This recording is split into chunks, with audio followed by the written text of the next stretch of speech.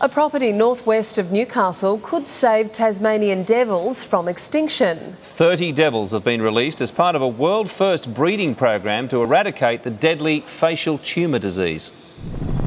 In an unexpected pocket of Barrington Tops, a type of Noah's Ark is unveiled, but instead of a boat, custom built fences over 500 hectares contain a shipment of Tasmanian devils chosen to save their species. We have big pens up to 10 hectares each where we're putting social groups of devils. It's a fairly experimental process still. Numbers of Tasmanian devils are now one tenth what they were 15 years ago when a facial cancer was discovered.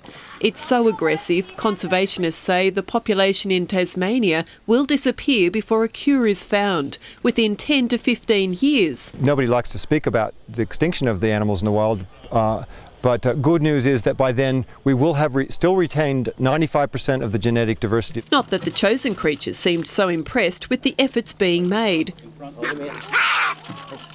One by one, the first group was released into bushland, and their adopted dad couldn't be more proud. It's something that I never thought I'd see, and I guess it's something Australia never thought they'd see. It's a first. They're nice and soft, and they're really fast. Are you proud that they're being saved right near where you live? Yep.